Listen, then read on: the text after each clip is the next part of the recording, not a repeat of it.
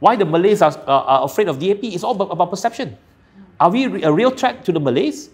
The answer is no. But this is all uh, engineered perception over the years, historical baggage.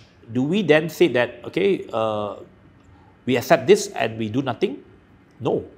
We have to change the perception. The way to change the perception is not overnight. The way to change the perception is by having a continuous effort to deliver, to perform well. That's why I, I mean, we take a, a, a, certain steps, okay, to, to, to allay the fears.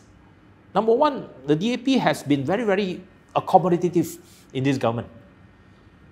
We never asked for uh, a proportional number of cabinet members. We know that, okay, uh, certain quarters are playing the, the sentiment that DAP is dominant in the government. So we take a back steps. Okay?